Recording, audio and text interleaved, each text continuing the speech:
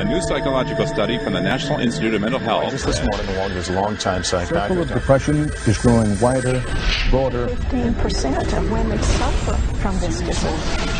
Over 20 million Americans. Changes that have occurred in the abnormalities in the neurotransmitters. They've got a problem. They've got a drug. Six million American kids take prescribed medication. But what if the criminal is mentally ill? The punishment, a form of aversion therapy. Spending appears on the show, but I want to Oppositional defiance disorder. Schools criticized for over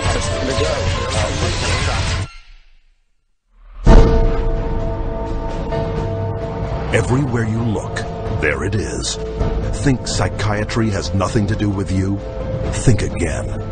The whole field of psychiatry has gotten into every facet of your life. They basically believe that everyone is mentally ill. You smoke too much, it's a disease. You're too unhappy, it's a disease. You're too thin, it's a disease. You're too fat, it's a disease. Where are these coming from? These are coming from the minds of psychiatrists that are dreaming these things up, writing papers and, get, and getting published with their names on it, calling, creating these new diseases. First, he said that I had ADD. Then he said that I was depressed. Then he said I might be bipolar, but I don't have ADD anymore. And he said, You know, I've been noticing you, and I, I wonder if you have it too. What they decided is that both my husband and my son had a chemical imbalance that needed to be corrected with a chemical balancer. There is not one shred of credible evidence that any respectable scientist would consider valid demonstrating that anything that psychiatrists call mental illness are brain diseases or biochemical imbalances. It's all fraud. There's no reliability of diagnosis, and there is no science. It's just pseudoscience. It's pretend science. This is one of the most open secrets in all of America in the psychiatric field. That nothing, nothing is being done that's legitimate, and they're billing for it. Psychiatrists claim that over 1 billion of the world's population is mentally ill.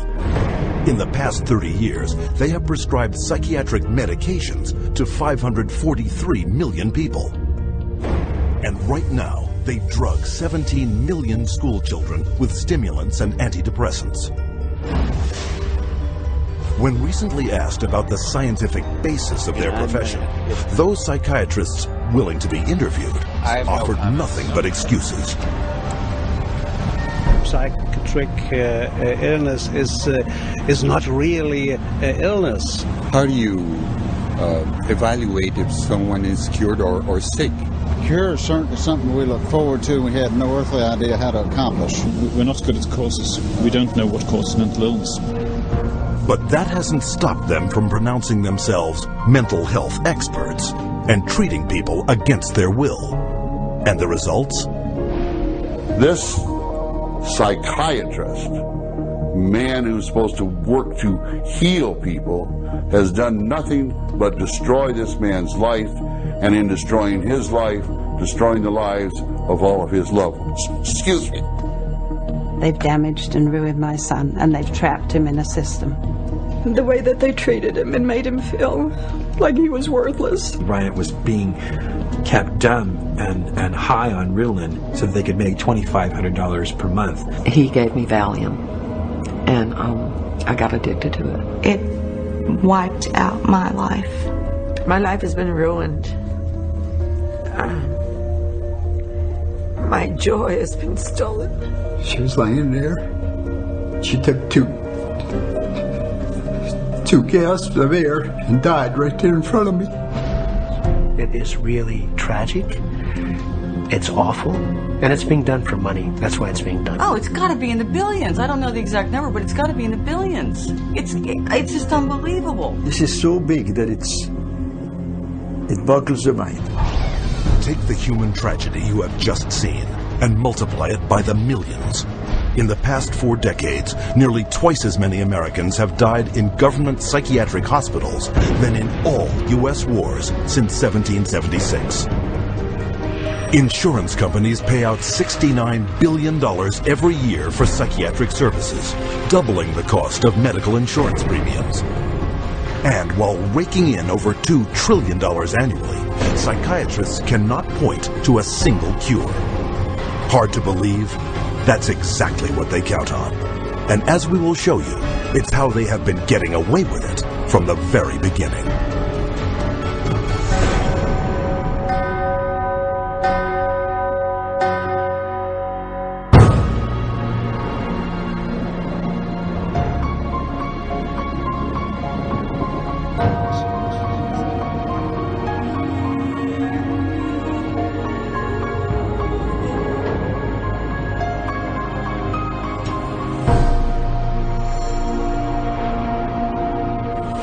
Of psychiatry have to do with control, power, and alienation from certain groups of people who were uncomfortable to be around. They were locked up in these places to get them out of the way. Uh, the history of psychiatry, I think, really is related to institutions.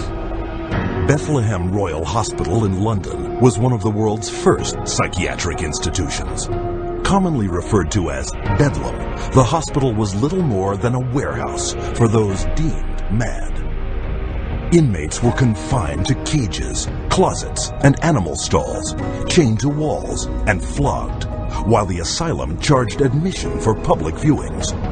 In the 18th century, William Battie was the first to promote that his institutions could cure the mentally ill. Battie's madhouses made him one of the richest men in England, though his treatments were every bit as inhumane as those practiced in Bedlam, with not a single patient cured. His financial success triggered a boom in the asylum business and an opportunity for psychiatrists to cash in on this new growth industry. This was an era where, on both sides of the Atlantic, specialized institutions for the mentally ill are beginning to be built in large numbers. Those institutions date back certainly to the beginning of the 18th century, and in a few cases even earlier than that. Uh, but the explosive growth of an asylum sector, of asylumdom, as some historians have called it, is very much a, a 19th century phenomenon. Uh, it's that period when the state is persuaded to invest tax dollars in building these places. But while those who ran the institutions were getting rich, psychiatrists yet lacked the credibility to maximize their cash flow. In order to justify their profession, they needed to come up with these biological solutions, or they didn't, didn't have any profession. The only way for them to solve that was to attempt to start uh, believing that that these people that were suffering from emotional disorders was from, from a biological basis. Whatever was done to make this person more manageable would be simply called a treatment. And the sad reality is that many of these so-called treatments were in essence torture. The near drowning devices that were developed in this period, for example, must have been appallingly frightening. For example, one device involved putting the patient into a coffin, closing the lid, and dumping it into a bath of water, and then opening it up and trying to revive the patient.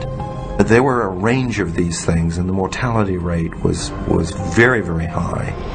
Psychiatrists next sought to give credence to their practices by cloaking them in the language of medicine.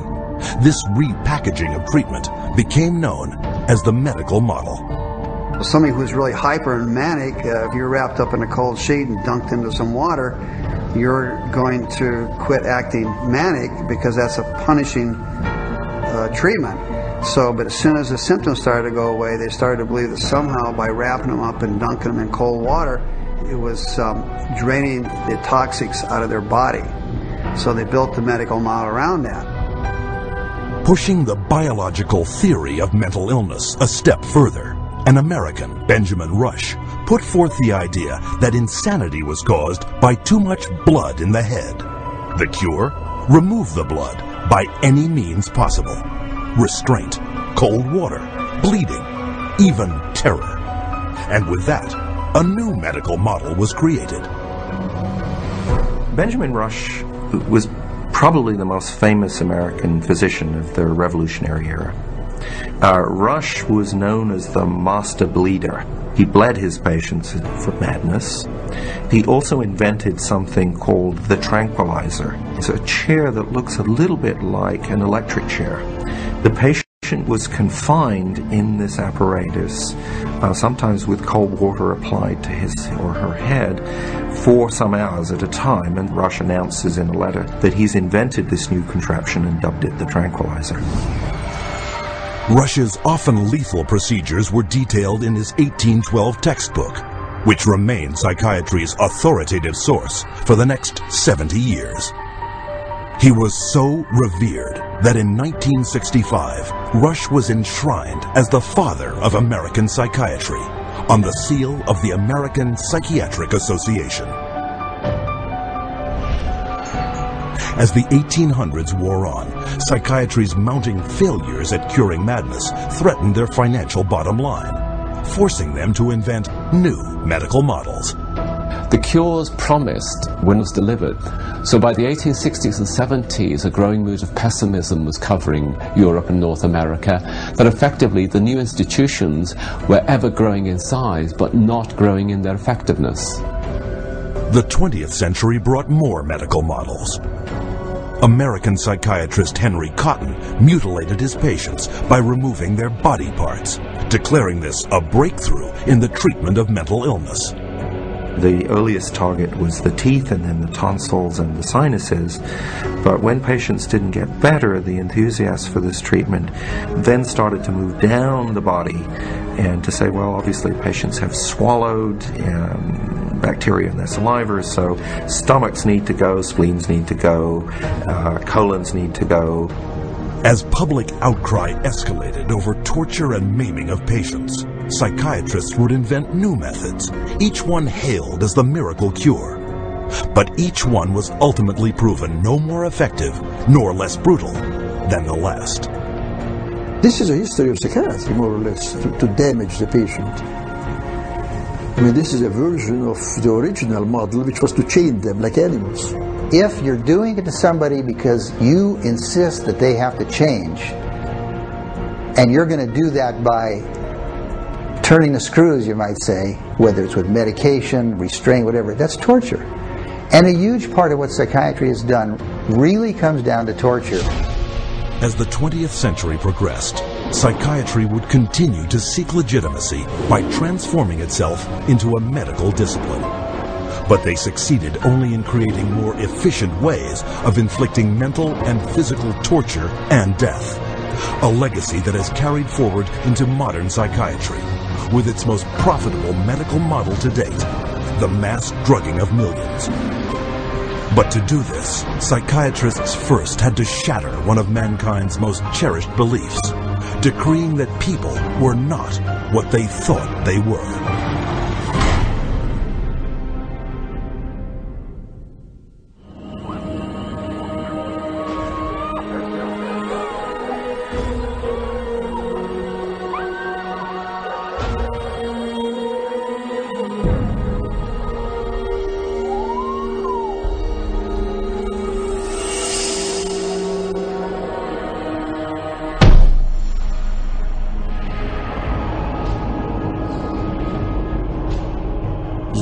University, Germany, 1879. Professor Wilhelm Wundt experiments on the human senses. Wundt declares man's thoughts, personality, and behavior are nothing more than chemical reactions in the brain. Wundt uh, became frustrated with his inability to change behavior because he was dealing with the original, you know, psychology. That's the psyche, that's the soul. He created a new science, which was based on man being an animal without a soul to be trained. Not to be a thinker, but to be trained. Students from around the world gathered to study Wundt's new definition of man as a soulless organism. The spirit of the age was summed up by German philosopher Friedrich Nietzsche. Gott ist tot. Gott bleibt tot. Wir haben ihn umgebracht. Following Wundt's theory, a Russian, Ivan Pavlov, conducted animal experiments seeking methods to modify behavior. Pavlov studied in Wilhelm Wundt's laboratory in Leipzig, Germany, in the late 1800s, and he experimented with uh, dogs, you know, with electrodes and and stimulus response, denying uh, privileges to denying rewards. And he noticed that when you brought out some food in front of animals, dogs in particular, that they would begin to salivate. So he'd ring the bell at the same time that he brought the food out, and then eventually, instead of bringing the food out, he just rang the bell, and of course the, the dogs got all excited. He called that a conditioned reflex. Pavlov's first human subjects were children. He punched holes in their cheeks to collect and measure their saliva. Pavlovian conditioning became one of the major foundations of a lot of behavioral science research in the 20th century. The idea that behavior could be controlled through repetitive conditioning became known as behaviorism. The behaviorists believe that all children are animals and can be trained as animals. This was the view of, of behaviorists. As a matter of fact, John Watson, the, the most famous of the uh, behaviorists, says that you have to treat human beings or look at human beings the way you would look at the ox you slaughter. See, the behavior is not interested in what's up in your head or your soul because they don't believe there is a soul. Watson's successor, Harvard psychologist B.F. Skinner, believed all behavior could be manipulated to suit whatever ends the behavioral psychologist was seeking.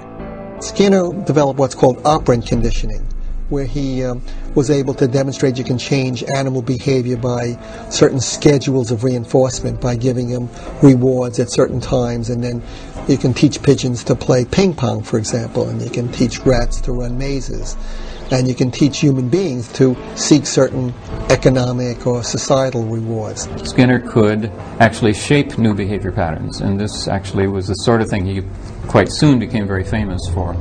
Perhaps his most notorious experiment was the Skinner box.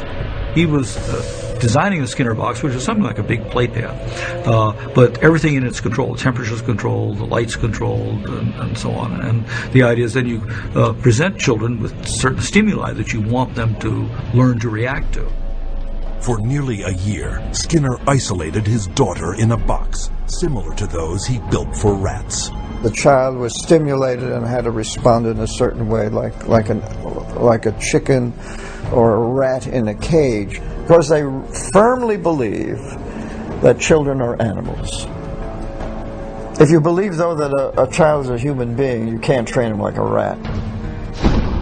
Today, about $40 million a year in taxpayer money is paid out by the United States National Institute of Mental Health for behavioral psychology research a total of 19 billion since 1948.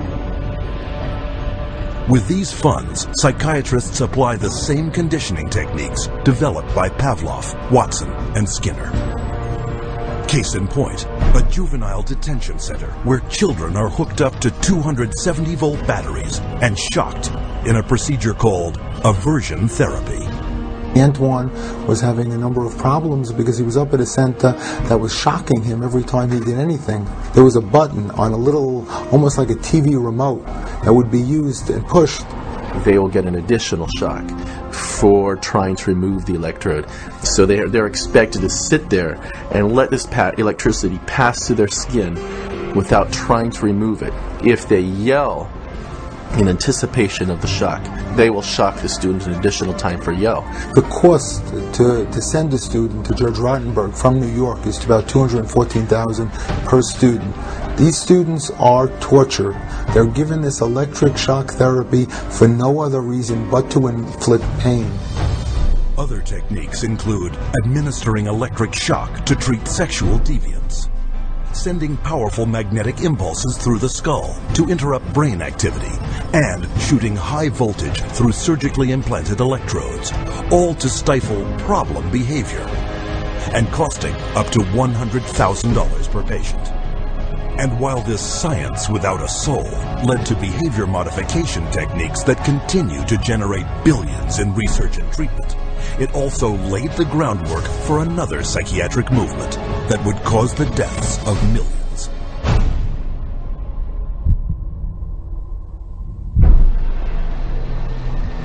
January 1945. As World War II comes to a close, the full horror of Hitler's final solution is exposed. With grotesque killing factories, unparalleled in human history, Mass graves filled with corpses of men, women, and children murdered by starvation, bullets, and poison gas. What could drive men to commit such atrocities against their fellow human beings?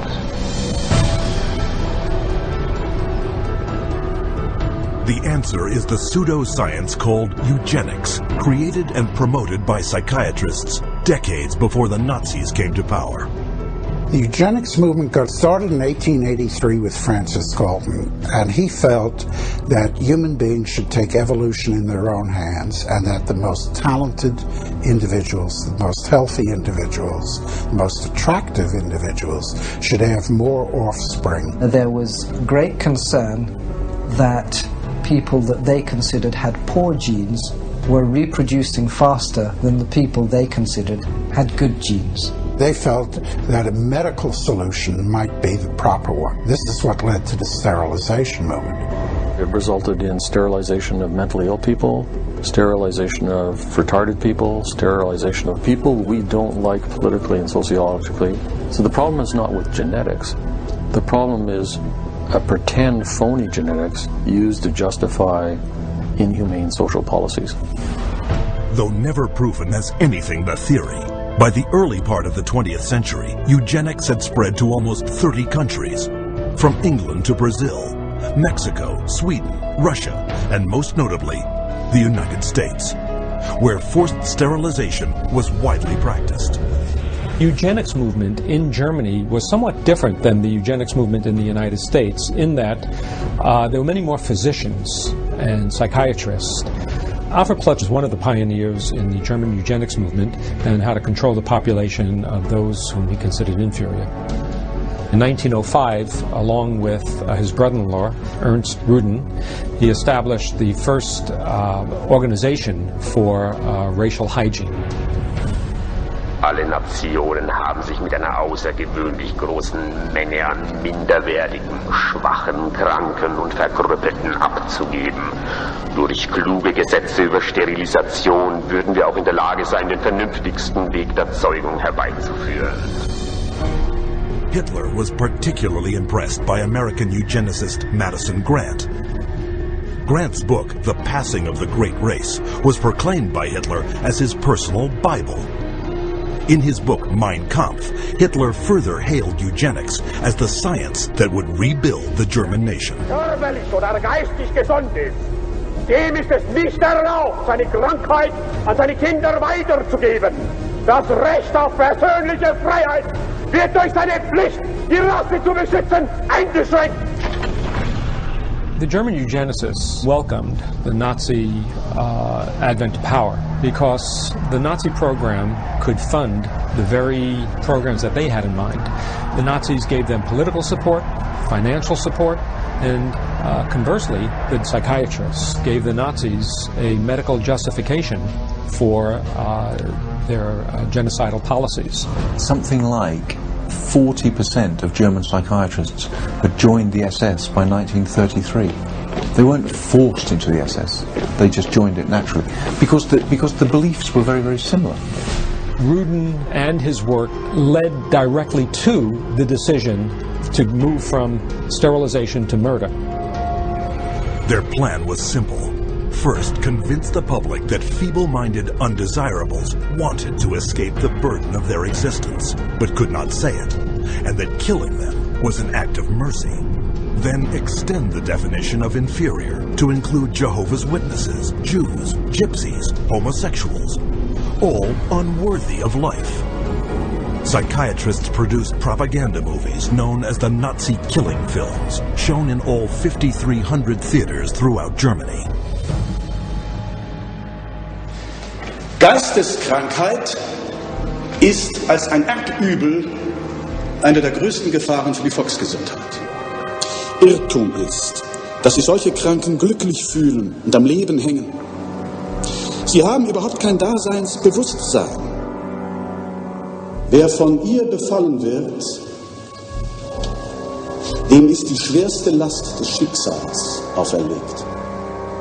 Ein Dasein ohne Leben. It first started with passive violence, which is starvation. It then intensified to lethal injections, and finally it developed into systematic gassing and cremation. Their headquarters were established in Berlin under the infamous codename T4.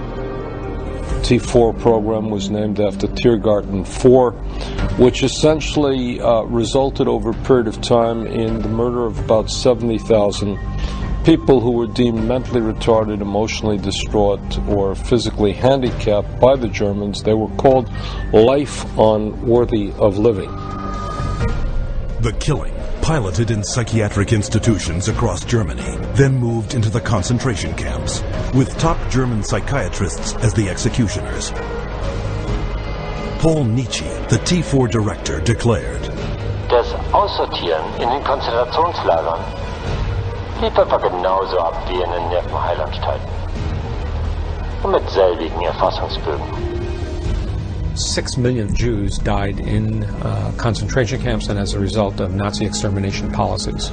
Rudin uh, congratulated Hitler for making his, that is Rudin's, 30 year dream come true.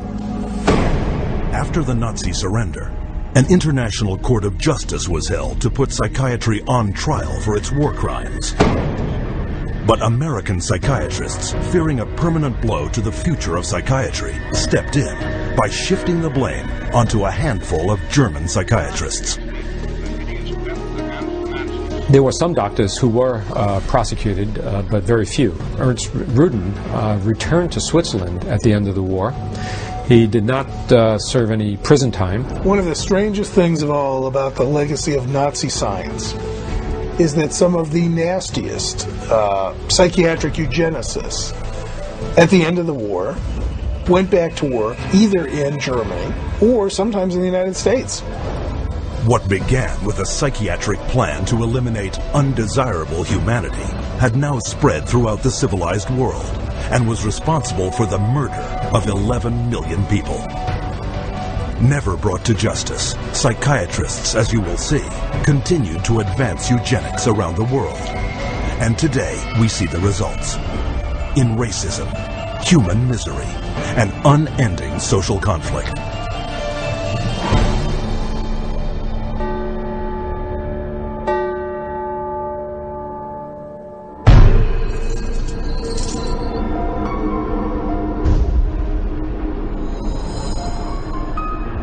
After World War II, a new eugenics was resurrected out of the bones and ashes of the old eugenics. The eugenics movement has been at the forefront to establish a new scientific racism that justifies oppression and exploitation and racism. In fact, racism is inseparable from the roots of psychiatry. The entire history of psychiatry, beginning with scientific conclusions that were made in the 1830s, was an effort to prove the intellectual inferiority of African Americans. Benjamin Rush is the father of modern psychiatry. And he is the one that gave us the term negritude. He said that all blacks have inherited this disease. And this particular disease, it caused them to be inferior. In addition to that, it was the reason why it was very important that blacks remain segregated and separate from whites so that whites did not inherit this disease. Asserting that negritude was a form of leprosy, Rush justified segregation as a medical necessity. And that became an argument to continue slavery. The fact that you have uh, have brutalized a whole group of people had nothing to do with that. It had everything to do with some genetic link and that basically you were just a diseased person. So when a slave master wanted to get rid of a, a recalcitrant slave, they could just say, oh, well, they're, they're suffering from this disease. Drapetomania, that is the name of the mental disorder that was contrived by Samuel Cartwright, um, who said that blacks have a mental disorder if they had a desire to run away from slavery. Running away became such a uh, common problem that psychiatrists attempted to give that a disease. He says, but that's a cure for that. And the answer was, the question was, well, what's the cure for that? Frequent whippings, frequent whippings. You'd be surprised how that disease clears up uh, when the lash is put in place of their excuses. After slavery was abolished, psychiatric racism not only persisted, it intensified. The American Journal of Psychiatry officially proclaimed that Negroes, as descendants of savages and cannibals, were ill prepared for higher civilization, while their pseudo-science eugenics stepped up its racist activities. There is a clear and long and intimate connection between the eugenics movement and the Ku Klux Klan. Harry Laughlin, who was the Carnegie Institution's director of the Eugenics Record Office, had close relationship to the Ku Klux Klan through the publication of a book called White America, which was written by a uh, major Klan leader. So Laughlin wrote a glowing review of the book in the Eugenics News, uh, and at the same time, you have the Ku Klux Klan using eugenics to justify their racist goals. But psychiatric racism wasn't exclusively American. Some of the worst abuses of the 20th century occurred in South Africa, where the government adopted the same racist theories and practices used by Hitler. This was no coincidence. The Prime Minister had studied eugenics as a psychology student in Nazi-influenced Germany in the 1920s. Dr. Hendrik Verwoerd is regarded as the architect of apartheid. Uh, he saw South Africa as a divided state with whites, blacks and brown people living in totally separate areas with uh, black people having no rights whatsoever. With apartheid in place, psychiatrists established mental hospitals throughout the country that were in fact nothing more than slave labor camps. These places operated under a private company by the name of Smith Mitchell and Company. They were saving money through the cheap accommodation for psychiatric patients while making massive fortune out of money that Parliament had appropriated for medication. So it was a corrupt system. When this operation was finally exposed, it was discovered that 67,000 prisoners had perished. While at the same time, psychiatrists had collected $117 million in funding from the South African government. The World Health Organization issued a report declaring that psychiatry cultivated racism and that apartheid did have a parallel in the ownership and trading of slaves. In 1971, in the United States, psychiatrist Louis Jolyon West continued psychiatry's legacy of racism, hatching a secret aversion therapy experiment called the Violence Center.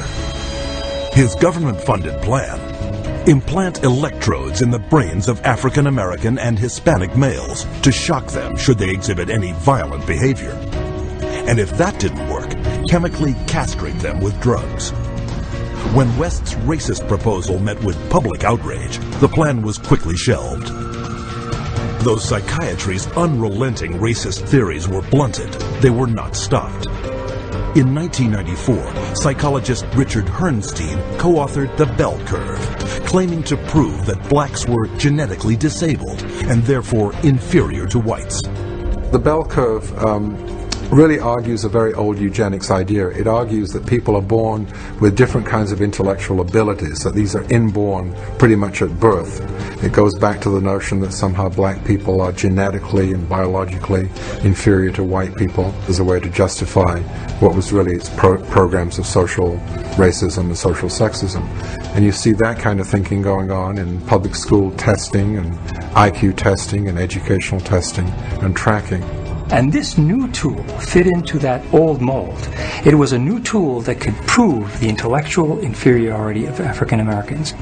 Psychiatric profession has done great damage, certainly in the past, and far too many in the present too, to subvert democracy and perpetuate racial stereotypes, even more, deep racism in society. We have to battle against this continual uh, misinformation, disinformation, pseudoscience. Uh, it can be repackaged in whatever form or format it is. But if it is based solely upon the color of one's skin and then is the merit of that human being, I just reject. And so today, the flame of hatred continues to burn, fueled by pseudo-scientific lies. This is the heritage of psychiatry, as a justification for racism and as a pretext for political repression.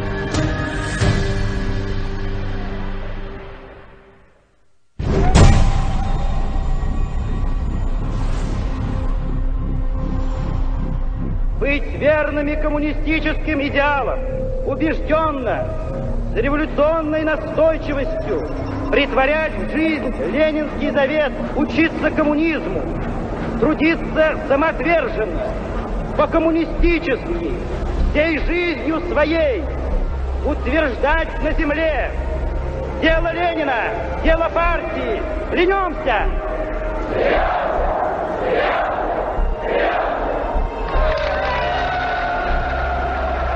The Soviet regime demanded absolute loyalty.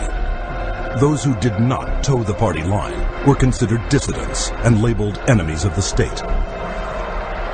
With no more than a whisper to the secret police, they would vanish into one of these special psychiatric hospitals. Despite the risks, these so-called dissidents put their ideas of freedom into action. Я вел жизнь тайную, конспиративную. Никто не знал, что я это делаю. У меня была маленькая подпольная типография. И я стал делать листовки. While others considered themselves loyal Soviet citizens.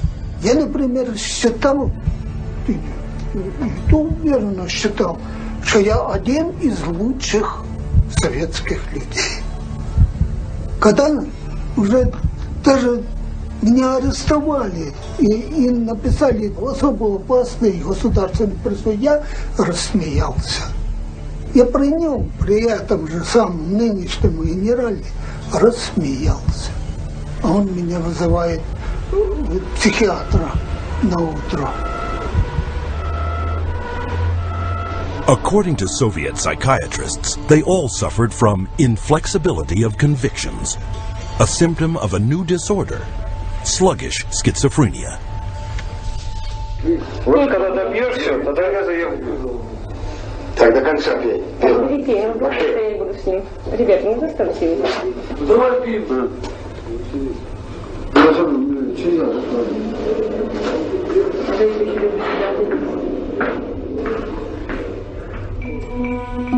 Like their counterparts in other countries, the Soviet psychiatrists prescribed powerful drugs To cure their patients. Но они никогда их с удовольствием не принимали. И находят пути их не принимать. Мы обязаны просмотреть прием лекарств, например, чтобы больные лекарства дошли до больного. Вот они где-то, как говорится, в горле проглатывают, все, ротовая полость чистая. И потом такие делают какие-то движения, отрыгивают. Врач на обходе говорит, как себя чувствуете, Петр Петрович? Я говорю, послушайте, вот, а, а там, э, когда э, 5 кубиков галоперидола, то надо, например, слюна до полу, там перекошенность вся, значит, одни мышцы растягиваются, другие сокращаются, совершенно ужасные позы, лицо все ужасное, на душе страшно просто. Я человека, вот самое главное, описать, э, описать это состояние невозможно. Санитары совершенно безнаказанно могли избивать. По любому поводу. Или вообще без повода. Вот, например, э, санитар открывает дверь, э, и тут, если, э, тут ты оказался, например, в этом в проеме двери. И вот э, этого достаточно было, чтобы, скажем, получить удар. Если э, больной, э, скажем, оказывал сопротивление при избиении, то его могли привязать и привязывали, и избивали, и продолжали избивать уже привязанного. Проходит, э, допустим, год, два, там выписывают убийц, выписывают насильников. Михаил, ты бы лучше убил бы кого-нибудь, мне бы легче было тебя отсюда вытолкнуть. Это было, вот, растало такое чувство безысходности. From 1967 to 1987, the Soviet government arrested over 2 million people who, for political reasons, were diagnosed as mentally sick and were forced to undergo psychiatric treatment. Even today, psychiatry remains the coercive tool of choice for governments throughout the world. What we've learned is that in or Guantanamo Bay, that we had teams of healthcare professionals called the biscuit teams, behavioral scientists, um, psychologists, working with the military to advise them on how far you could push a, a prisoner. There are abuses that have been documented around the world. We have healthcare professionals who have committed um, potentially um, acts of treason uh, within their medical ethics. And there's nobody supervising that. There's nobody making them stand accountable to their medical ethics. But psychiatrists have never reserved physical and mental torture exclusively for political prisoners. Throughout history, they have repackaged it and sold it to the public as therapy.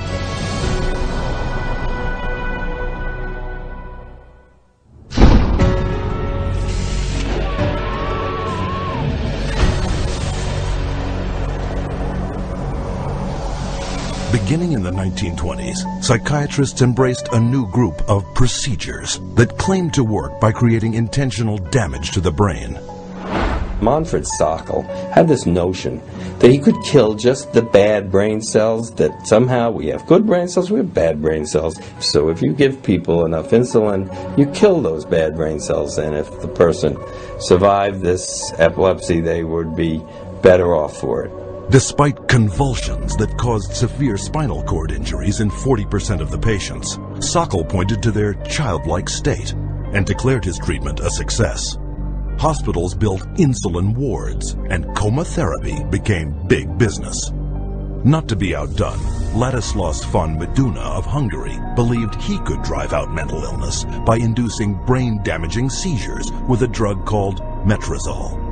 He noticed his epileptics had no mental health problems, and his mental health patients, his uh, psychiatric patients, seemed to have no epilepsy, and so he thought doing one would obviate the other. The theory was that epilepsy and schizophrenia couldn't coexist in the same brain, and that if epilepsy was induced, that a seizure was caused, it would, quote, drive out the schizophrenia. There's no scientific basis for this whatsoever.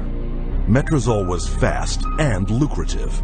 In a morning, a single psychiatrist could chemically shock 50 patients into a docile and manageable state. By 1939, metrazole was so popular with psychiatrists and staff, it was used in 70% of American hospitals and in almost every other country in the world. The financial success of insulin and metrazole sparked the development of an even more profitable method of inducing brain-damaging convulsions. How is electric shock therapy done? We use these electrodes. We place them on the patient's head like this. And then by means of this machine, we pass a controlled electric current through the brain, just for a fraction of a second. The patient doesn't feel it. The story behind this miracle cure began in a Roman slaughterhouse.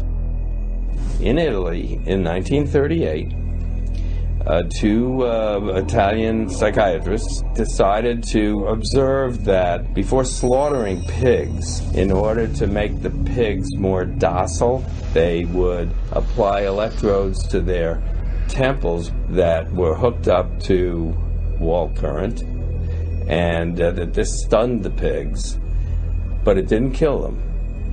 And they could then slaughter them. Well, this gave them the encouragement to try inducing convulsions with electricity.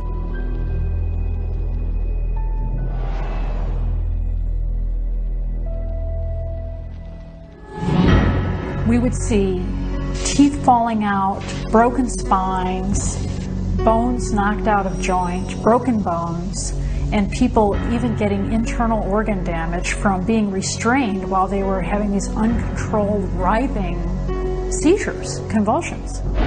Many patients have been returned to their homes and jobs who might still be here if it were not for this helpful form of treatment.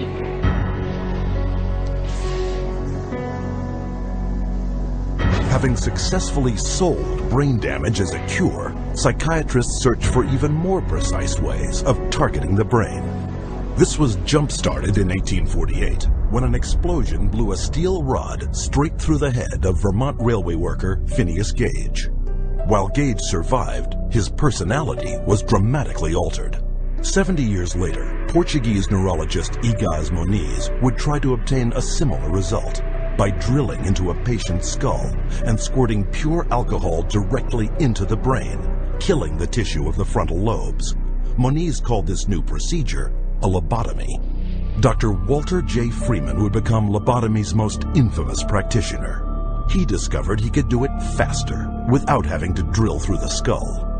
There was no anesthesia, and he would just lift up the eye and stick uh, nothing more than an ice pick right into the brain, right under the orbital bone, and then just rake the thing back and forth until he was satisfied that he had caused enough disruption of brain tissue and then pull it out. Freeman traveled the country in his lobotomobile, hacking apart his patients' brains on stage, or sometimes right there in the vehicle. And he would pull up and offer lobotomies to people, get referrals from the local doctors, or sometimes people didn't even go through doctors. They'd go right to the lobotomobile, and he would just do the brain damaging procedure right there.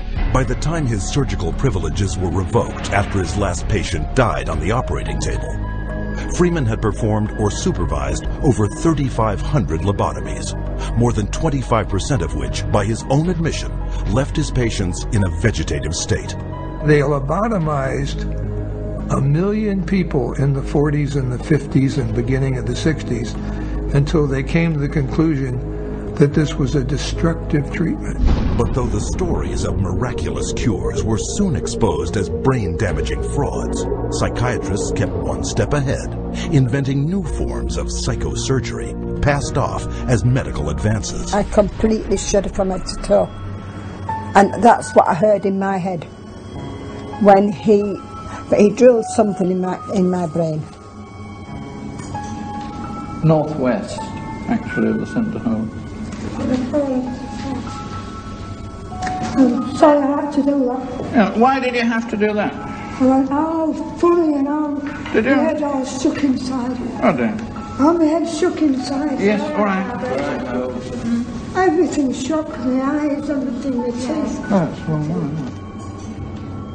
That was grievous bodily harm done to my brain. And nobody has the right anyway to play God with somebody's brain. The whole operation took about eight and a half hours. And they kept me awake for every second of it. And I remember every second of it. And I still remember it to this day because I have this operation every day of my life. Whether I like it or not, I have it. Psychiatrists still tout the benefits of lobotomy, a treatment that earns them $31 million annually. But in the wake of lobotomy's tarnished reputation, psychiatrists were quick to push electroshock back into the spotlight. Renaming it electroconvulsive therapy, they now give patients anesthetics to squash their screams and paralyzing agents to avoid watching the writhing of agony. The main misconception that people have about ECT is that it's new and improved. The new and improved refers strictly to these uh, cosmetic improvements because, in fact, they make it easier on the witnesses. The person isn't shaking all over the table. They're paralyzed now. It isn't new. It isn't improved. It is worse. Every 10 years or so, there tends to be, uh, first of all, a denial that it causes any harm. Secondly, an acknowledgement that it might have caused harm, but here's a whole new approach, and now this one is blameless, without any research to back it up. The ECT machine can pr- produce anywhere from 50 to 400 volts. It's the kind of energy that we use for industrial machinery that might be in a steel mill or some or a printing press, some large piece of machinery. It's an extraordinary amount of energy and it causes a great deal of damage. And while stories of prisoners physically mistreated with electroshock are well publicized, the amount of electricity doled out by psychiatrists for ECT is up to 33 times greater. And that damage is most often targeted at the most vulnerable. Two thirds of those who receive electroshock are women. Given such diagnoses as premenstrual syndrome, menopausal disorder, or postpartum depression, half of electroshock patients are elderly. Once they become eligible for government health care at age 65, 360% more American seniors receive ECT than at age 64. And what does this all add up to? 40,000 dead. and countless others so brain damaged they have no hope of ever recovering a normal life. For a total of $12 worth of electricity, psychiatrists in the United States alone rake in $5 billion. But the next miracle cure psychiatrists added to their arsenal made them more money than ever before. For it was faster, cheaper, and could turn every man, woman, and child into a patient for life.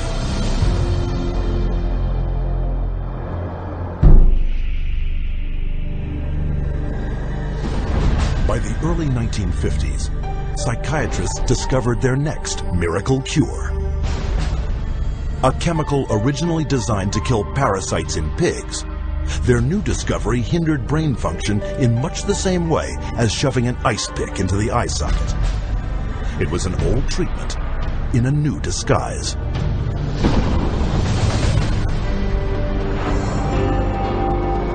With the advent of these new tranquilizing drugs, it seems not too much to say that we're on the verge of an entirely new era in the treatment of mental illness.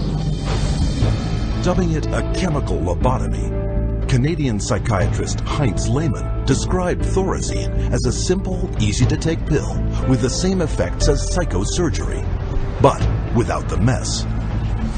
Thorazine provided psychiatry with the entry into mainstream medicine. It had its magic bullet. If I'm a psychiatrist and I have to spend an hour talking to someone in psychotherapy, there's only so much I can charge for that hour. But if I can come in, give you a pill, and send you back out in 15 minutes or 10 minutes, that's a much more efficient uh, use of my time monetarily. What psychiatrists didn't tell the public was that Thorazine caused a crippling neurological condition known as tardive dyskinesia. And that's a neurological syndrome where you have muscle twitches, abnormal jerks, which are uncontrolled, and they either last for a long time or sometimes they're permanent. So that's very clear, very well recognized long-term or permanent brain damage from these medications. Uh, Mr. Blount has virtually no signs of his original illness now. The signs that uh, the movements of his mouth are completely side effects of the drugs that he was on for 20 years. Uh, Mr. Blount is quite rational. He understands what's going on. Um, and if you're patient, he can carry on a very rational conversation with you. Even when you remove the drug, it may still remain. It means you have caused a permanent disabling of the brain. In the late 50s, you get the first signs of people starting to worry about it. But it's not until the late 70s that, that psychiatrists start warning their patients about it. 20 years. Thorazine's manufacturer, SmithKline French, had good reason to keep a lid on the bad news. In the first year alone, SKF saw a 3,000% return on their original investment. With the public and the press kept in the dark about the severe and disabling side effects, prominent doctors and psychiatrists met in Puerto Rico to lay the groundwork for the expansion of psychiatric drugs far into the future. Psychiatrist Dr. Nathan Kline wrote this in the conference's final report. Present breadth of drug use may be almost trivial when we compare it to the possible number of chemical substances that will be available for the control of selective aspects of man's life in the year 2000. Dr. Kline spearheaded a movement flooding new psychiatric wonder drugs onto the global marketplace. Backed by a massive publicity machine, spending hundreds of millions of dollars. Psychiatry was now an industry of drug pushers. By 1970, the American Psychiatric Association was so dependent on drug company money that 30% of its annual budget came from pharmaceutical advertisements in its official journals. So we had money flowing to trade organizations, we had money flowing to the doctors, um, and to their journals. Well, we all know that that is going to influence how they think. The majority of National Institute of Mental Health and National Institute of Health scientists are getting more money from drug companies on the side than their tax-based salary. With so much money to be made, all psychiatrists needed was a scientific theory to justify it. Their solution? An official report declaring that all mental problems derive from a so-called chemical imbalance in the brain, requiring drugs to correct. This chemical imbalance is one of the greatest fallacies ever foisted upon patients and the public. There is no chemical test to show an imbalance related to any psychiatric disease, whether it's depression, anxiety, what have you. The chemical imbalance is for the benefit of the psychiatrist. It has to be there so that psychiatrists can treat it. But fraudulent chemical imbalance theories could not hide the mounting evidence of common and terrifying side effects, such as akathisia. Akathisia is like an extreme nervous, inner nervous agitation. People describe it as wanting to crawl out of their own skins. And this happens with great frequency, and it is absolutely, totally well understood to be associated with suicide and violence and homicide. After years of these reported side effects and cases upon cases of violence, self-mutilation, and death, in 1991, health experts, legislators, and the public finally forced the FDA to order an investigation. I know with absolute certainty that if Charles had any idea of the side effects of Prozac, he would never have taken it. I had two sons, David Lee, age 8, Billy 16, wife 20 years, all gone. I'll tell you why. After being on Prozac for 21 days, my wife shot and killed both of these two boys right here. She turned the gun to herself and shot herself twice. I took the 9 millimeter automatic, sat down on the bed, and put the gun to my head. And I blew a 4 inch hole out the back of my arm instead of my head. Thank God I was a lousy shot. Had someone looked further into Prozac, steps could have been taken to avoid it. What was supposed to be an unbiased hearing was a panel of psychiatrists, the vast majority with personal financial ties to pharmaceutical companies.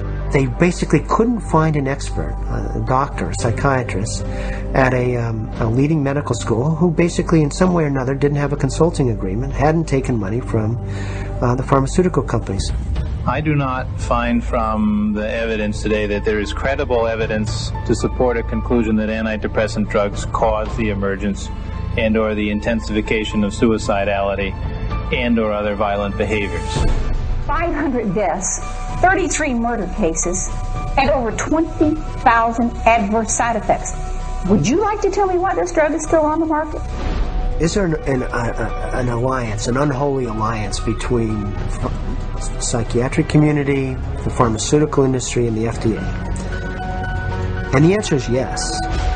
This unholy alliance became all too apparent in 1997 when pharmaceutical companies persuaded the FDA to allow them to advertise directly to the public, with psychiatrists providing medical endorsement. And in just three years, sales of psychiatric drugs skyrocketed, almost two and a half times. When the numbers of violence and suicide victims shot through the roof, public outrage finally forced the FDA to issue warning labels on antidepressants.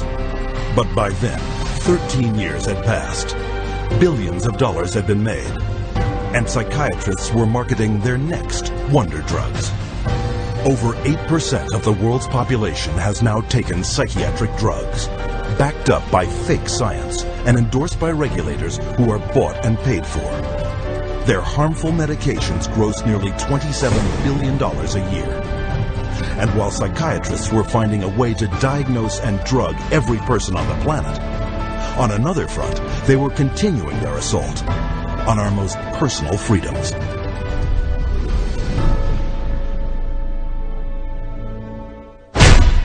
Psychiatrists demand the absolute right to determine what is best for the so-called mentally ill. After all, the mentally ill are crazy and unable to evaluate their own treatment.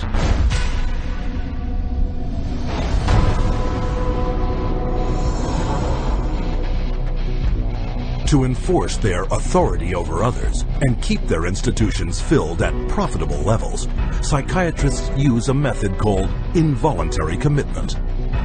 When you go to a real doctor, say a family doctor or a cardiologist, a patient always has the right to refuse treatment. So there is no such thing as involuntary treatment when it comes to clinical medicine as practiced by real doctors. Psychiatrists, of course, believe that people can be treated against their will. In 1956, psychiatrist Winfred Overholser presented a plan to Congress intended to take involuntary commitment to a whole new level. The plan purchase a million acres of Alaskan wilderness, build a huge mental asylum, and change the commitment laws so that anyone could be shipped off with no more than a simple nod from a psychiatrist. The bill sailed through the House of Representatives, but when the public caught wind of the plan, they became enraged, referring to it as Siberia USA. The bill was quickly struck in the Senate. But while the death of the Siberia bill put a stop to their large-scale plans, involuntary commitment still remained the most effective and profitable method for filling psychiatric institutions. Again, the person has committed no crime and has no trial and is sent directly to a mental hospital, which is really a prison. How many people go to an insane asylum and say, please lock me up? Doctors don't lock up anybody. Psychiatrists lock you up. Even children can be taken from their parents with little legal recourse. They just invaded our home. They came in with officers. Our kids were scared. You know, they come in with a piece of paper and say, You're giving us your kids. And it's like, you know, how can they just come in and do that? She said, You could be arrested for medical neglect. And I said, But how was that when, you know, this is my child? And I, and I see that he doesn't need that much medication. Why would you threaten me with something like that? At 10 p.m., two policemen and two social workers came to my house and took all four of my kids away. Once committed to psychiatric hospitals, patients are drugged and restrained. The more a person objects, the more this objection is construed as symptom of a mental illness. At which point the person would be locked up in restraints. There would be the ankle, the knee, the waist, the head, the wrist, and the shoulder restraints. And if when that process was happening, if there was almost any resistance at all, the person then would be medicated to a point where they would be they would almost be knocked out. We had one case where they actually took a patient in a seclusion room and beat him up. And then uh, they lied about it to the uh, services that investigated. So it's a pretty wide range of of abuse issues that we've encountered.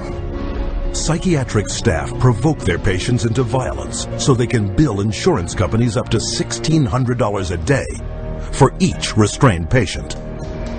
A patient would resist diagnosis, resist treatment, and also want to leave treatment while they were at the hospital.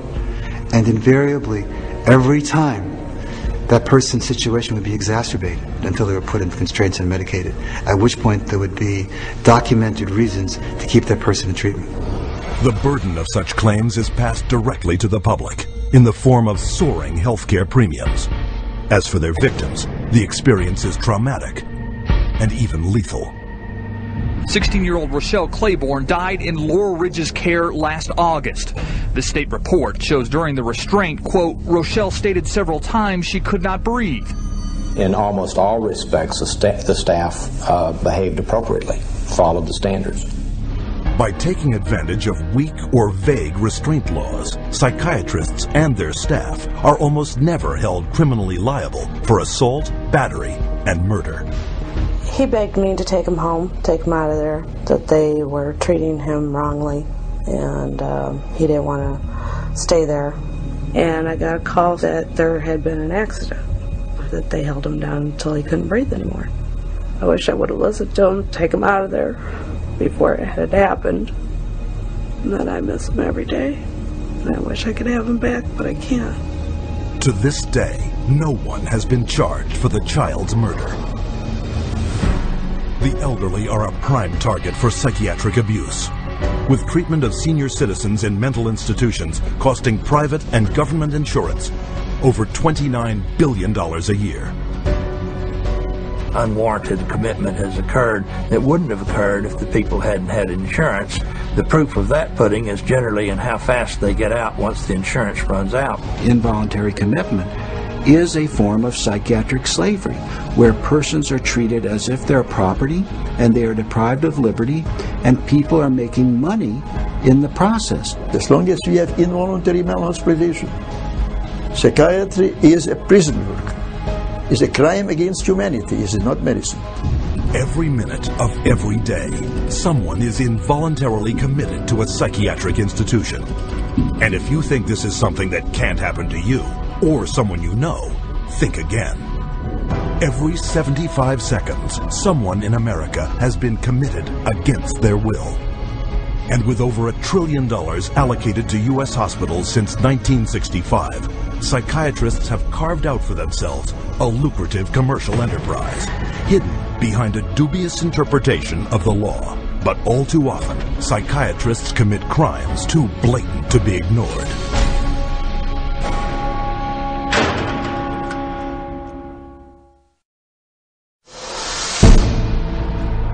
The FBI has raided the headquarters of one of the nation's largest operators of psychiatric hospitals. Hundreds complained of overbilling, misdiagnosed conditions, and insurance fraud. Investigators say they found more than 5,000 similar cases in all 50 states. Psychiatrists clearly are getting rich. Psychiatrists traded drugs for sex, filed false insurance claims, and exploited patients sexually. We have uncovered some of the most elaborate, aggressive, creative, deceptive, immoral, and illegal schemes being used to fill empty hospital beds with insured and paying patients.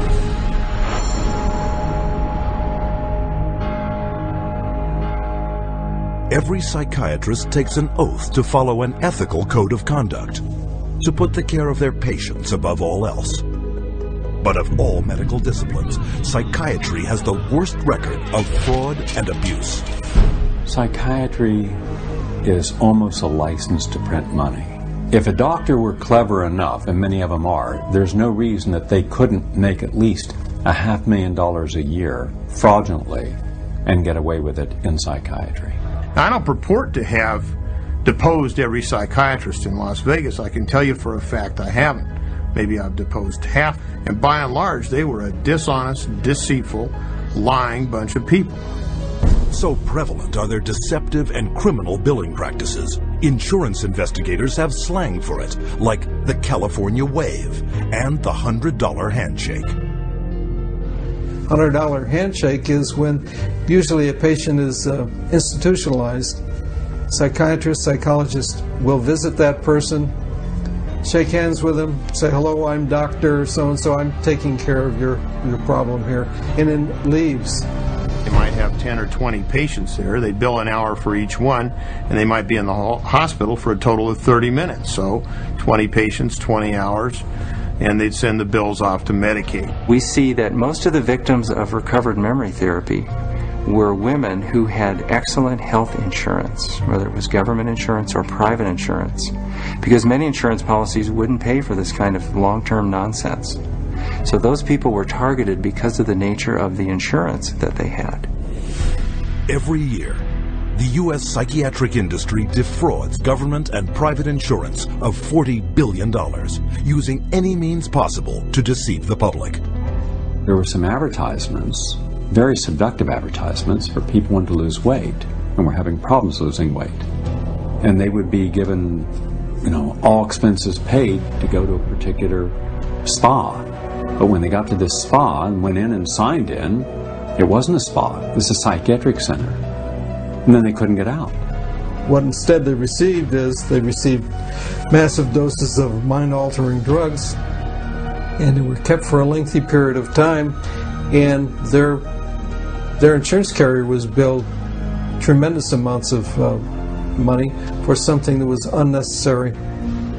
But their lies go beyond the psych ward and into the courts, whereas paid witnesses, they will say anything to collect their fee a psychiatric expert who will have one opinion in one scenario and a completely opposite opinion in another scenario based on which law firm or governmental agency is paying for his time. The psychiatrist, on one hand, will tell the public that suicide can, can be prevented, but will go into court and tell a jury that suicide cannot be prevented. And then once you show his prior inconsistent statements, you also show that he is paid very well by pharmaceuticals. Then the jury says, you know what, we're not so sure about you um, because you just lied to us. Add to the greed, dishonesty, and avarice their sex crimes. Accounting for only 6% of the physicians in the country, psychiatrists commit one third of the sex related offenses committed by doctors. It has happened so often that by the mid 80s, the insurance companies who insure physicians across America started writing sexual claims out of the policies altogether. That's how common it was. The system was so broken that more than 25,000 complaints had been registered, but nothing acted upon. When a psychiatrist has a patient, a female patient, and abused them sexually, there's a very high probability they'll get away with it. I've seen many cases where the mental health professional becomes very disturbed and is using very strange and odd treatments and that can go on for many years with no one finding out about it because it's not very public. It's quite private. Things happen behind closed doors. Tragically, their sex crimes often involve children. Case in point, Dr. C. Markham Berry. On the surface, a well-respected member of his community. But all that shattered when he was arrested on child molestation charges. Van loads of child pornography were removed from his home, and the subsequent investigation uncovered his sexual abuse of former patients, boys aged 7 to 17, who he photographed and sodomized.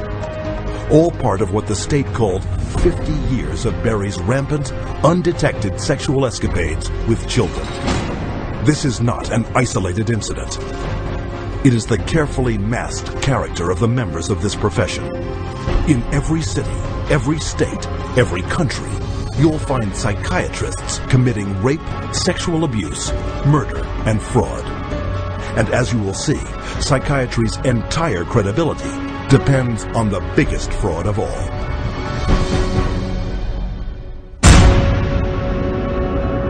I was diagnosed with a chemical imbalance, manic depression. They diagnosed me with having ADD. He told me I had conduct disorder, ADHD, mild depression, major depression, depressive, borderline personality disorder, compulsive disorder, anxiety, depression, and schizophrenia, and depression, sleep disorder, identity problem disorder.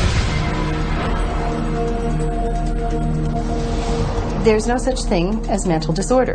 A mental disorder is whatever someone says it is, and if the person saying this is a mental disorder has enough power and influence, then people believe, oh, that's a mental disorder.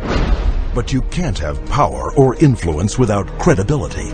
So psychiatry manufactures its own. It's based on a, a, a, grab bag of checklists for disorders that are published in a book called the DSM, which is the Diagnostic and Statistical Manual. There are no statistics in this book, by the way. That just makes it sound more scientific. They create this cluster of disease, and they get together and they vote. Is this a disease? All in favor say aye. It's marketed as a scientifically based document. Now, the American Psychiatric Association, which publishes the DSM, do a lot of work to create an, an aura of scientific precision around the DSM, but it's not scientifically based. Since the first edition of the DSM, the number of mental disorders voted into psychiatry's diagnostic manual has grown to 374. And with each new disorder, psychiatrists create yet another way to defraud the public. If you have 27 ways to bill in the DSM, that's 27 ways to bill. If you have 300, that's 300 ways to bill. So you can pretty much find anyone walking on the street that could fit into a DSM somehow. When you build insurance companies, you can't say the word. You've got to say a number. And they have numbers for the most ridiculous things. You know, like arguing with your mother or peeing in the bed. Adolescent rebellion disorder is an official psychiatric diagnosis. Um, arithmetic learning disorder is an official psychiatric diagnosis. General anxiety disorder is a recent diagnosis. For each one, there is a five digit code with a decimal point. Now, the implication of that is if I have uh, illness 403.16, that that's different in some important and scientifically proven way from someone who has 403.17. And nothing could be further from the truth. Incredibly enough, while presenting the DSM to the world as scientific fact, psychiatrists freely admit its utter lack of science. We have no diagnostic reliable markers for almost any illness there is in the DSM. What we're testing for in psychiatry, it's, it's hard to say because there's nothing specifically. But as far as a test that's clinically useful, um, you know, basically we're not there yet. We don't have any laboratory tests that we can use to uh, determine whether somebody does or doesn't have a mental illness. There are no good biological tests for detecting mental illness. There is no test, there's no biopsy you can do. There is no chemical test right now. There are no specific tests to confirm the diagnosis or show the improvement, like any blood tests or any x rays or anything like that. Oh, in my practice, I don't do any tests. I just speak with people and uh, listen to them, and then I make a decision in what kind of illness. These diagnoses vary as widely as the psychiatrists who make them. In this hidden camera footage, a person visited several different psychiatrists, complaining of the same symptoms. I'm extremely unorganized and I didn't used to be. It's caused problems in the family. It's caused problems getting, you know, I'm, I'm self-employed. So you've got ADD, ADHD, you're depressed, and your depression is bipolar depressed. So you have a brain chemistry disorder and it's probably genetic. You have a lot of the symptoms of depression. So it seems like it is a mixed picture. What that means is like we got some the depressive symptoms and some, you know, high symptoms. If you're bipolar, I'll need to give you a mood stabilizer. Mm-hmm. I, we don't know. I kind of doubt it. Considered low-grade bipolar. You are more of the ADD than ADHD. And as far as medications for depression, because I would recommend that you start a medication, which are Prozac, Zoloft, Paxil, Celexa. Usually Propylene XR is pretty good. They'll give you some uh, Lexapro in the morning and some trazodone at night. Lamictal is a better medication for that. It works on your depression also. But the treatment for any bipolar cycling is the same. The lithium, Remeron is another one. trazodone, Tegretol. Lipigood. Wellbutrin. Lexapro, Lamictal, Equatroid. Depakote, Lithium. Ambien. You may need an antidepressant also with, with your Lamictal. We don't know if I give you a medication if it is going to work or not. To a certain degree, it's uh, trial and error. You never know if it's the right drug. How many people have I cured? Well, uh, there are no real cures right now in psychiatry. I have cured none of my patients. We're always challenged by our lack of knowledge. I mean, in fact, uh, we don't know what the causes of mental illness are. Most mental illnesses, we do not know the cause. Of course, it would be nice to know exact reasons of disorders, but maybe in the future. I'm the uh, director of research at the American Psychiatric Association. We don't know the etiology of really any of the mental disorders at the present time. DSM-5 is coming out. It's grown to 10 times its original size, and it labels everybody. I could find five diagnoses that fit would fit you or anybody else. Compare this to the research methods of pathology, a real science that discovers real diseases using a wide variety of precise diagnostic tests. We do millions of laboratory tests as well as the structural examination and the microscopic examination. It's um, a whole series of applied scientific procedures. In, in the case of, of psychiatry, there isn't any uh, laboratory tool that can precisely identify psychiatric disease and allow it, allow it to be classified. It's not as if there's some study of tissue or some study of the body or some study of matter. These are all uh, categories which are made up. They're simply made up. They're not, they don't exist in nature. They're uh, decided upon by psychiatrists and voted on. Psychiatrists are not the only ones who benefit from the DSM. Wherever you find a psychiatric diagnosis, you'll find a psychiatric drug. The pharmaceutical corporations now contribute enormous sums of money for the education of psychiatric residents and for the support of research by their professors So that psychiatry today has become very, in America, has become very largely uh, learning of which drug to use with which disease or disorder. We need to make sure that we understand the very close interactions among the American Psychiatric Association with its DSM, the pharmaceutical companies, who love the fact that every time there's a new edition of the DSM, there are dozens more categories in there. And so more conditions for the drug companies to say, oh, we've got a pill for that. In 2006, a study revealed that 56% of all psychiatrists deciding what disorders to list in the next DSM had financial ties to at least one drug company. Today, we see the consequences. A barrage of drugs, each one targeted at an invented disorder that is backed by an arbitrary diagnosis found in the DSM. The fact that it is couched in the language of science without, again, without necessarily having any of the scientific data or, or underpinnings to justify it is as threatening as anything we've seen today.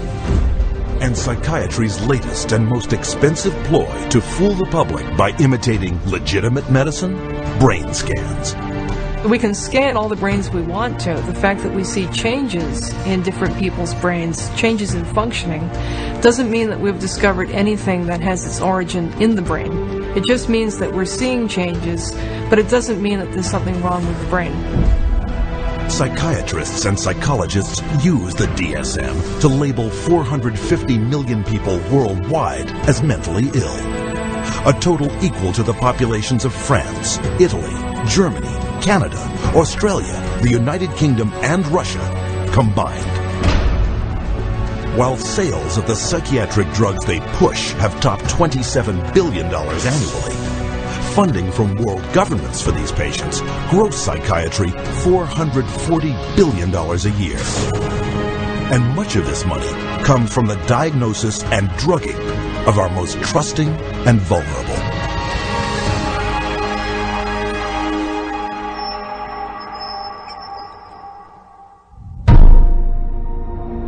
We have swallowed all manner of poisonous certainties fed us by our parents and school teachers. If the race is to be freed from its crippling burden of good and evil, it must be psychiatrists who take the original responsibility.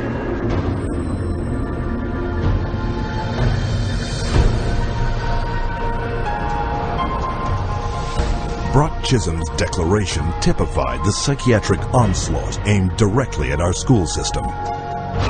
They actually said the purpose was social control, not to pass on knowledge, not to give him something so that he can go into the world of work. In 1950, psychiatrists and psychologists from around the world met at the White House to propose a total reorientation of the public school system. The White House Conference on Mental Health in the 1950s was a landmark that served to bolster the idea that schools would serve their communities better the, as mental health clinics than they would as uh, institutions of learning. In the early 60s, the world of psychiatry started to really go places in this country. Little by little, it came into our schools, our educational system. And by 1965, it was written into law. Psychiatrists were given the green light for the wholesale labeling and drugging of school children. A child is labeled ADD or ADHD the minute he can't uh, sit still for a uh, 10 15 minute period of time, uh, or he talks constantly, or ignores the teacher completely. That will get him and earn him an ADD or ADHD label. The labeling of attention deficit hyperactivity disorder, ADHD, went into full swing in 1987. Within one year, 500,000 American children would be diagnosed as ADHD. By 1994, that number had soared to 4.4 million. In response to widespread public alarm at this apparent epidemic of mental disease, the U.S. government funded National Institutes of Health assembled a panel of prominent doctors and psychiatrists to explain to parents and educators exactly what ADHD was. I would like uh, any member of the panel to describe uh, a typical ADHD in terms of symptomatology. Mark, would you like to? Since you see them in your practice. There, there, I mean, I think the panel has been frank, and you know the difficulties here are immense in terms of of uh, um, these. I mean, ah, it is hard. It, it, it's very hard to know how to answer this question. They're, um, they cannot, you know, even when. Um, uh, they are as if driven by a motive. There are some good clinical descriptions. Um, and I think, you know, we, uh, I, I do, I think the part of the problem is the profession keeps changing the diagnosis. At this time, we do not have a diagnostic test for ADHD. Therefore, the validity of the disorder continues to be a problem. But this shocking admission did not stop school psychiatrists. Two years later, the number of American students diagnosed with ADHD had shot up to 6 million. Today, 20 million children worldwide are labeled with some form of learning disorder, a diagnosis often made in a matter of minutes we would sit behind um, a two-way mirror um, along with the parents. We would then look at um, the child. We would like do small manipulative activities with them to see where their deficit was. Um, it was wrong what we were doing. We were looking at a five-minute glimpse of this child's life and saying, okay, here you go. Here's a little pill. Take it. You'll be fine. Those little pills like Ritalin, Adderall, and Concerta are classified by the U.S. Drug Enforcement Administration as highly addictive substances, right along with cocaine, heroin, and methamphetamine. When I was on the Ritalin, it made me just feel like totally different, like I wasn't even who I was. I was, you know, flipping out, twitching, you know, going crazy. I felt like I was out of it all the time, like I wasn't there. I wasn't human. You're just a zombie, pretty much. Not you, you, you know, you do what you can and just to get by and just don't do anything extra. My mother never teased me, but she thought I really had ADHD and I was wrong and had something wrong with me. So I thought she'd feel bad and feel sorry for me if I died. But then again, I I thought that she um, would miss me a lot, and I also love her um, a little more than I wanted to kill myself. And so I stopped. I stopped when I realized that. The abundance of prescription medications created a new income source for kids, selling their meds to their schoolmates. It's called kiddie cocaine. They take the Ritalin and they just repackage it and they sell it on campus to the kids because it's like speed. I figured like if I was gonna do drugs, I might as well make it worth it. And I ended up doing street drugs and then I ended up getting into it really bad. We're looking at um, marijuana and other things as being gateway drugs and actually the, the so-called medications are a greater gateway drug. The Ritalin drugs are backfiring big time because if the child is already disruptive and he takes cocaine, he's going to be a lot more disruptive after he's taken it. It is not going to calm him down. Boom. She got on the drugs and her personality changed, her behaviors changed. They became erratic and dark and violent, and uh, it, it was just a nightmare. He kept having adverse reactions, becoming very, very angry. He could not control his behavior, he couldn't control his temper. He was on five different psych meds Prozac and um, lithium, and um, he was seven years old.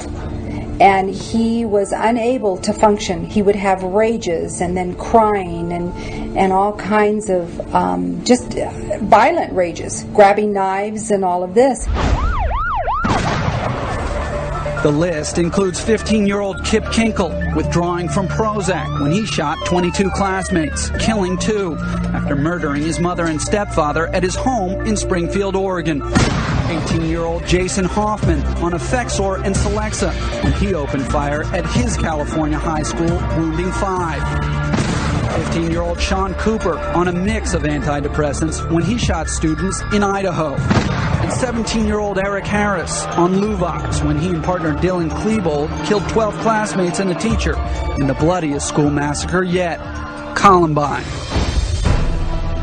And all of this overshadows the very reason children came to school in the first place to get an education. Since 1970, the United States has fallen from 9th to 28th place in worldwide academic standing. While during that same period, the number of American school children labeled with learning disorders has skyrocketed, and the sales of ADHD drugs have multiplied 32 times.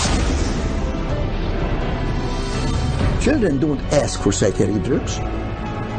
Children don't ask to be diagnosed. They don't want to be called crazy.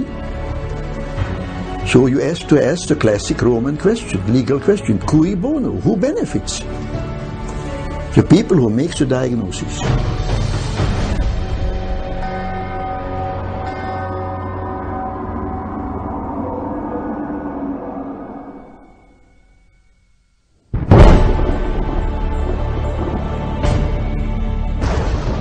Psychiatry should actually go into government, that politicians should listen to psychiatrists. Psychiatrists should be in every parliament and should direct and monitor political activities.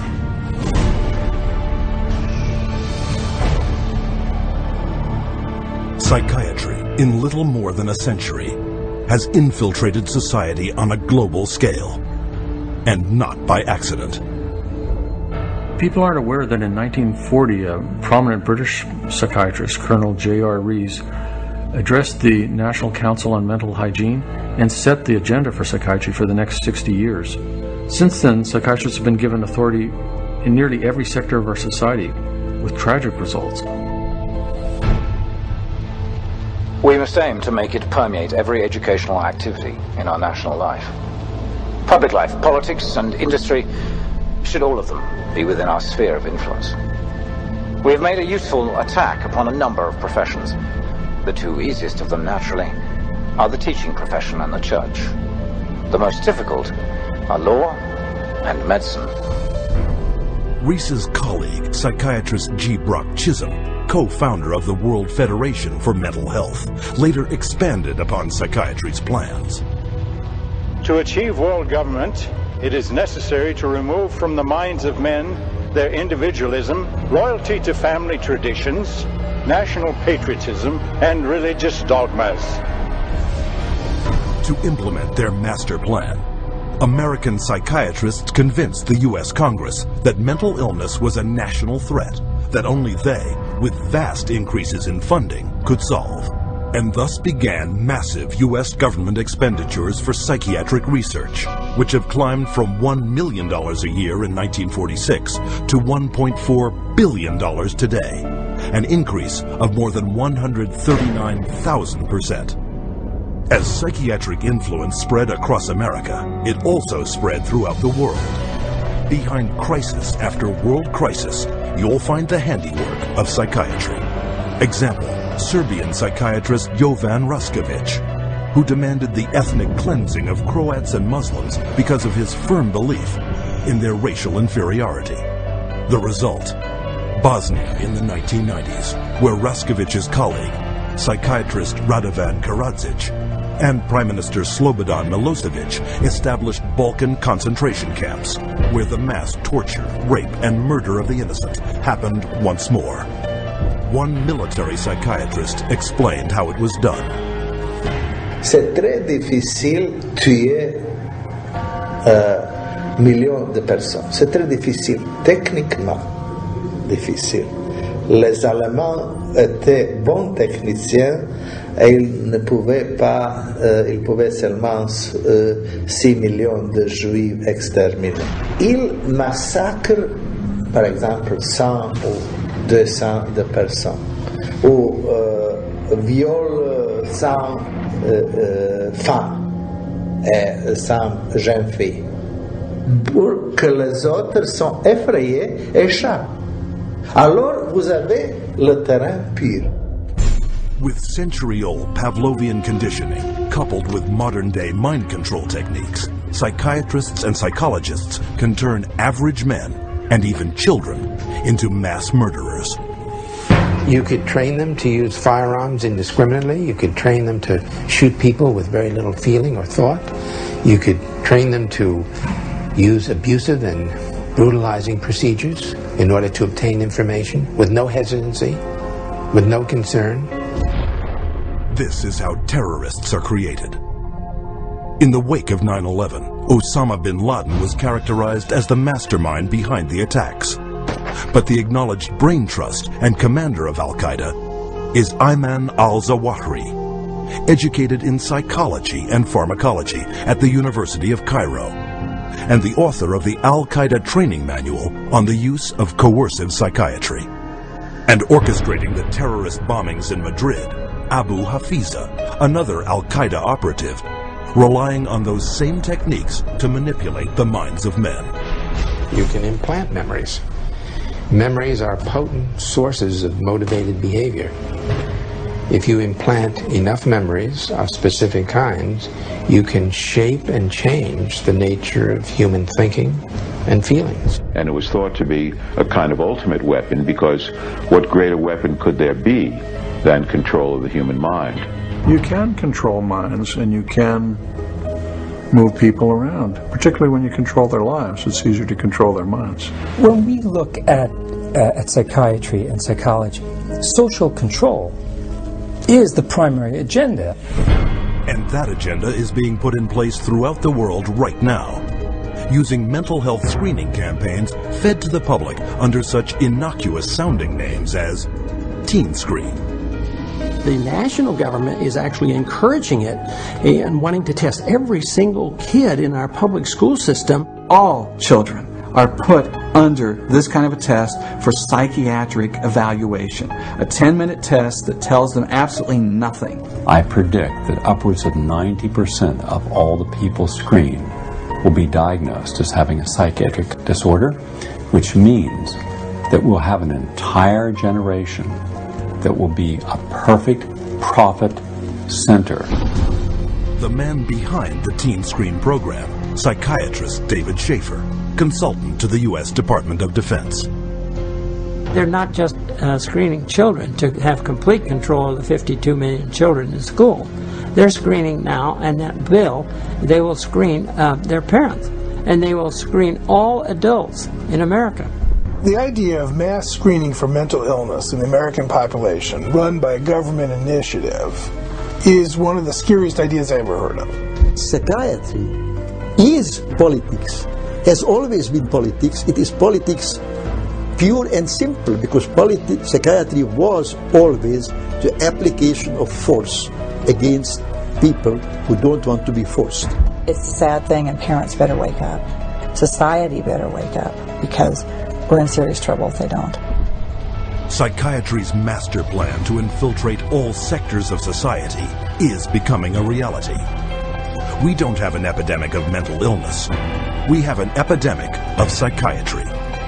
Something can and must be done about it.